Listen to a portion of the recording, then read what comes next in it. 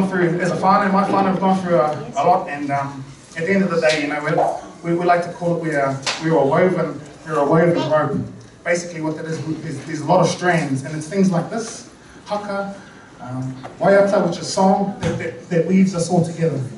And that's, that's the most important thing. So thank you very much for this opportunity for showcasing us our, and our culture. So thank you very much for the opportunity.